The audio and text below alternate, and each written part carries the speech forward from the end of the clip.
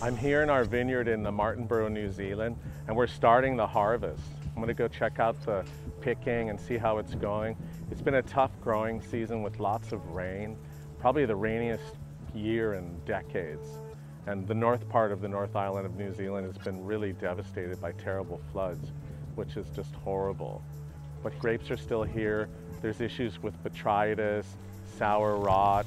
So we're trying to select in the vineyard as we pick and then it'll go to the winery. I'm working with a, a, team from Laos who live here in New Zealand, really, really nice people. So after a long and difficult growing season, everyone's happy to be finally picking some grapes. So let's go check it out. So what do you what do you think? Does it look as bad as you think? It's a weird season, so yeah. normally, normally we wouldn't have this much sour rot or anything like that. But some of it is, a lot of other vineyards are like complete write-offs. Oh, yeah, they are. It's really, really sad. sad. It's really sad. It's unbelievable. We've never never had anything like it. So, yeah, it's um, it's awful. I mean, at least we've got fruit to pick. Yeah, so at least there's some feel-good factor in all this, like. Yeah, yeah. Well, there is, you know, and it's always a it's always a feel-good factor to get the fruit off the vine.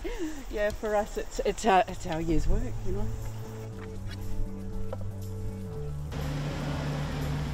I'm excited to see my grapes. We picked them, you just saw that. And I'm interested to see what, what, what they look like on the sorting table. And then finally when they're destemmed and in the bins ready for fermenting. I'm really excited. Okay. Are those ours? See, it looks better now, eh? Yeah. And then it looks even better once it's been through the destemmer. You'll be like, it's like having a baby yeah. baby comes out and you think it's beautiful, right? Yeah. You're at that process. Oh, pretty much.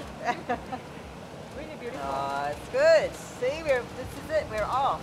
First fruit of 2023, and it happens to be yours. It's exciting. It, that's cool. It's exciting.